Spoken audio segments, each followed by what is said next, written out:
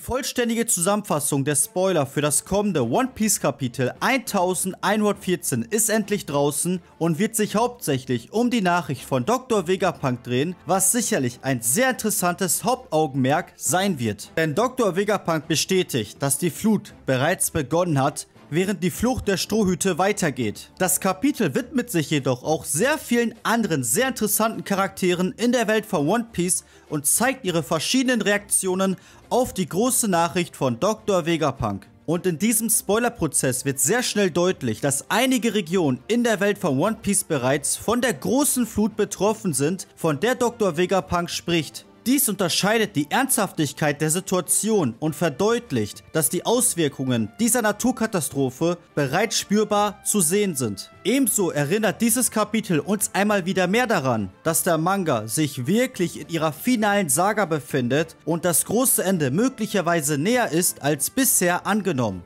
Die Spoiler konzentrieren sich dann auf den Inhalt der Geschichte des Kapitels und behaupten, dass das kommende One Piece Kapitel unmittelbar dort beginnt, wo das letzte Kapitel 1113 endete. Einige Marinesoldaten werden dabei gezeigt, wie sie im Marinefort in Panik geraten, wobei Hina eine von ihnen tatsächlich ist, während Flottenadmiral Akaino mit seinem typischen ernsten Gesichtsausdruck gezeigt wird. Szenenwechsel. Auf Jar Jar lachen einige Piraten über die Worte von Dr. Vegapunk und erinnern scheinbar an die Szene, in der Ruffy auf Jar Jar ausgelacht wurde. Die Spoiler-Zusammenfassung zeigt dann Pauline Water 7, der mit einem sehr besorgten Gesichtsausdruck auf die Stadt hinabschaut. Der Fokus verlagert sich dann auf Don Quixote do Flamengo im Hochsicherheitsgefängnis von Impel Down, der mit Magellan spricht. Er macht einen Witz darüber, dass er sich an einem höheren Ort bewegen müsste, da die meisten größeren Städte der Welt unter Wasser stehen würden, wenn der Meeresspiegel um 5 Meter ansteigt. Der Witz besteht darin, dass das Impel Down bereits unter Wasser steht. Anschließend gibt es einen Cut Richtung Fischmenscheninsel, wo Shiaroshi ihrem Vater Neptun fragt,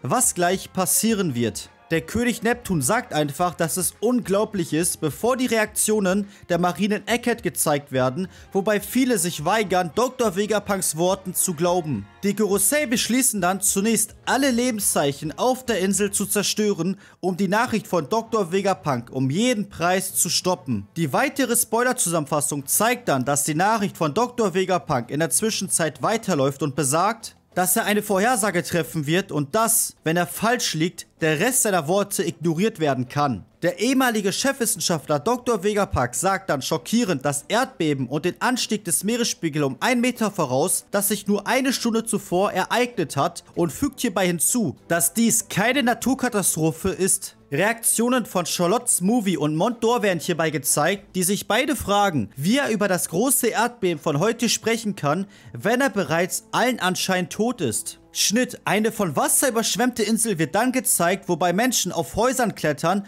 und in Booten fliehen, um in Sicherheit zu gelangen. Das Kapitel verschiebt dann den Fokus auf Namis Gruppe, wobei die Spoiler betonen, dass in dem Kapitel nichts über Sanji und Bonnys Gruppe enthüllt wird. Und während es auch allen anscheinend keine Updates zu Zoro und Jinbei gibt, wird gezeigt, wie Brooke sie auffordert, sich zu beeilen, da sie Hilfe brauchen. Des Weiteren steht hier, Namis Gruppe kämpft weiter gegen das Gorosei-Mitglied Saturn, während Chopper Nico Robin beschützt. Nami greift Saturn mit einem Blitzschlag an, während Vegapunk Lilith auch ihre Waffen benutzt, doch Saturn schickt sie einfach weg, während Robin ihre Teufelskräfte benutzt, um ein Netz zu machen, das sie rettet. Saturn spricht dann allen Anschein mit seinen Telepathiekräften zu den anderen Gorosei-Mitgliedern und er sagt hierbei, er kümmert sich um alle Transponderschnecken im Mutterflammraum. Er läuft ebenfalls an den Strohhüten vorbei und verwandelt sich zurück in seine menschliche Form, um einzutreten. Die nächsten sehr interessanten Informationen behaupten dann, dass wir endlich die Mutterflamme selbst sehen werden, die sich als eine sehr kleine, aber dennoch unglaublich mächtige Flamme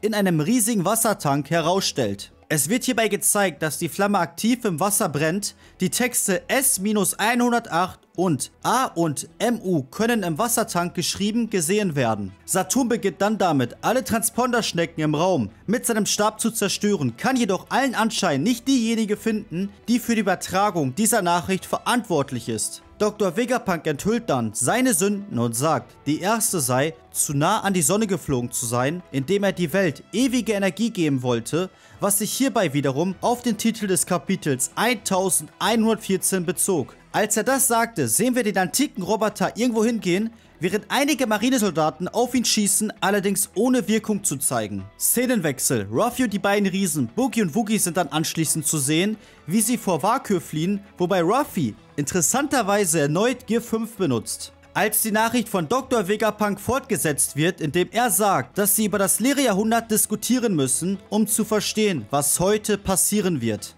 Der Fokus wechselt hier kurz auf das heilige Land Mary Jo, wo Imusama zu sehen ist, wie er aufmerksam zuhört, ohne nur ein Wort zu sagen, während einige Himmelsdrachenmenschen gezeigt werden, die verwirrt sind, da sie noch nie etwas vom leeren Jahrhundert gehört haben. Überraschenderweise ist auch Hogwarts die Soul zu sehen, der offenbar lachend und liegend in einem Wald liegt, während er Dr. Vegapunks Nachricht zuhört. Anschließend bestätigt Dr. Vegapunk, dass er die Pornoglyphen und Bücher, die von einer Gruppe von großen Archäologen hinterlassen wurden, studiert hat, wobei hier ganz klar auf die Leute von O'Hara Bezug genommen wird. Er fügt hinzu, dass er dies trotz des Verbots der Weltregierung getan hat und dass dies seine zweite Sünde ist und er nicht bedauert, was er getan hat. Vegapunk Edison wird dann gezeigt, nachdem er durch das Verteidigungssystem der Frontier Dome sehr schwer beschädigt wurde, wobei er den Kontrollraum darunter benutzt, um die Form der Wolken der Laborphase zu ändern. Das wiederum verlagert die Thousand Sunny hinunter zum Meer und bereitet so langsam aber sicher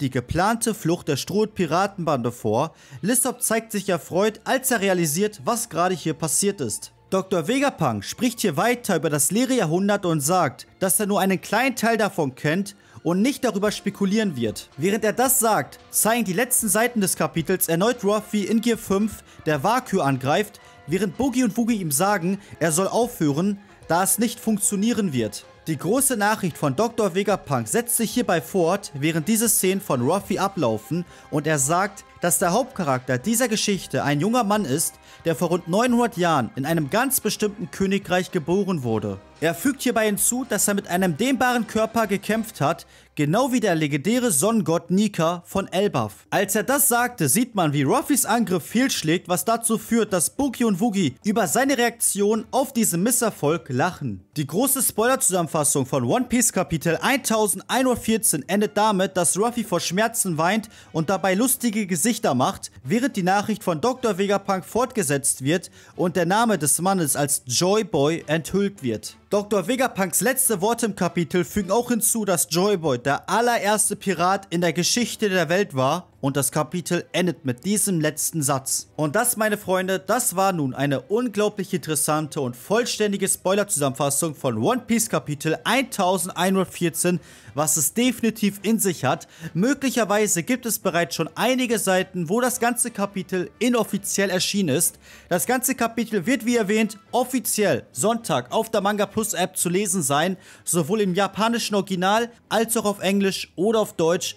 Und ich kann euch sagen, das Kapitel wird mit Sicherheit ein unglaublich großer Impact und wird die One Piece Welt für immer verändern. Aber wie immer frage ich euch am Ende des Videos, was sind eure ersten Gedanken, Eindrücke, aber auch Anmerkungen für das kommende One Piece Kapitel? Was wird eurer Meinung nach als nächstes passieren? Schreibt mir sehr gerne hierzu eure ganzen Vermutungen oder auch möglichen Theorien als auch Spekulationen unter diesem Video in die Kommentare oder auch wie immer sehr gerne auf Instagram. Den und viele weitere Links findet ihr unten in der Videobeschreibung verlinkt.